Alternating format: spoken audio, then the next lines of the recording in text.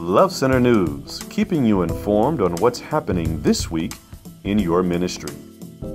Thank you for coming to the Love Center. It is our prayer that today's worship experience will be precise, real, and clear. Welcome home.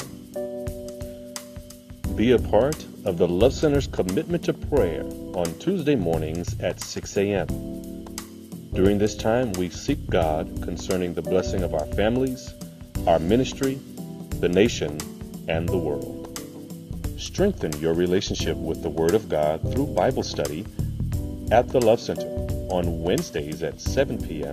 at Love Center Atlanta, Thursdays at 6:30 p.m. at Love Center South, and again on Saturdays at 10 a.m. at Love Center Atlanta. The Love Center Cafe is the place to get great food and experience good fellowship here at the Love Center. It is open and available on Sundays after the 745 worship celebration. Come, enjoy the food, and bless the ministry. Tune in on Sundays at 6 p.m. for the Shake the Nations broadcast with Pastor Byron L. Broussard on Shabak Radio. You can download the Shabak Radio app from the Google Play or App Store via iTunes. Thank you for supporting Pastor Byron Broussard and Love Life Ministries. Please do not eat food or bring drinks into the sanctuary, and all children from six weeks to four years must go to the nursery during worship. Be an active part of the worship, work, and witness of the Love Center. You can also share our ministry through social media on Facebook, Twitter, and YouTube. As we seek to take this love to the whole world. This has been Love Center News, keeping you informed.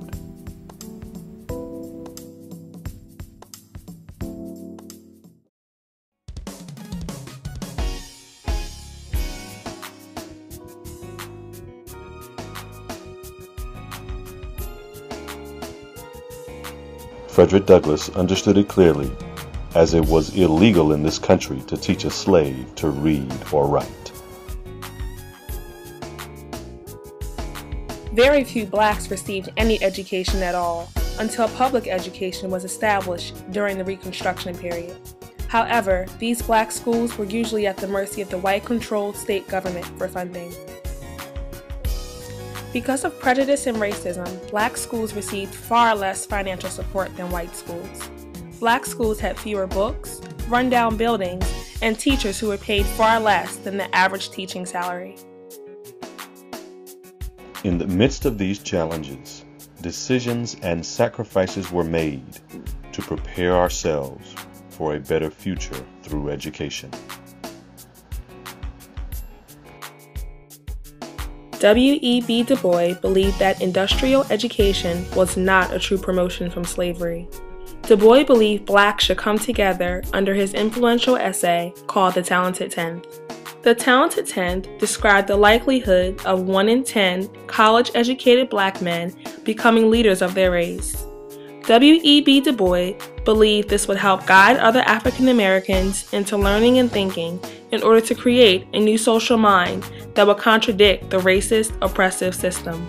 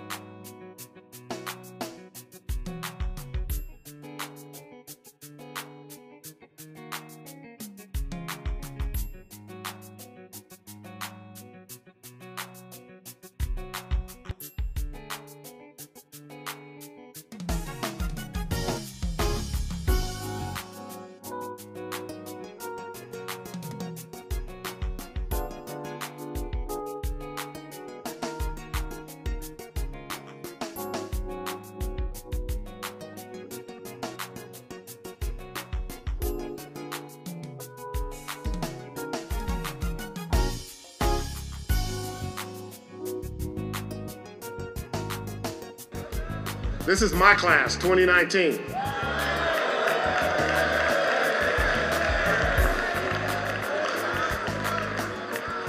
And my family is making a grant to eliminate their student loans.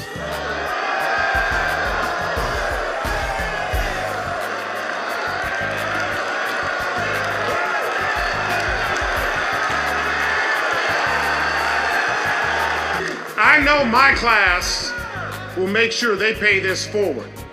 And let's make sure every class has the same opportunity going forward. Because we are enough to take care of our own community.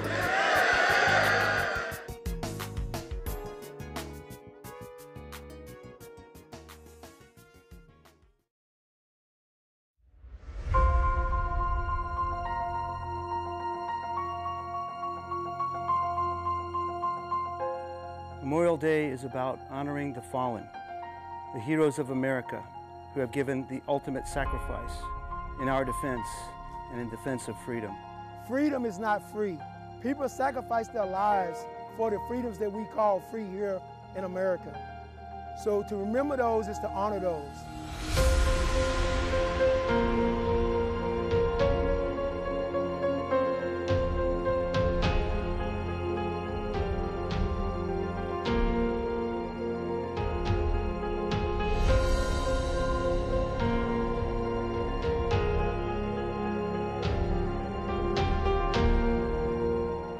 Love has no one than this, than to lay one's life down for his friends.